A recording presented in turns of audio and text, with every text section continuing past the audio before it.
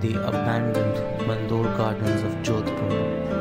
Mandore, an ancient town, is just five and a half miles north of the tourist haven of the blue city Jodhpur, Rajasthan. One of the best preserved sites here is the Mandore Gardens that stand strong to tell the tale of a bygone era. I, for once, am glad that I did not miss visiting this ancient town of Mandore.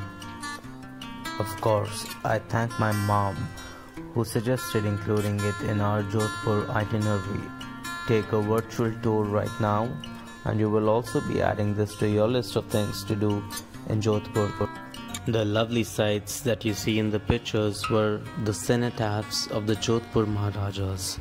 This cluster of red buildings surrounded by the green trees is bound to bring out the photographer in you. Mandore finds a mention in history as early as the Ramayana. They say that Ravan is considered as the son-in-law of the Brahmins here as he married Queen Mandodari from Mandavyapur, the old name of Mandore.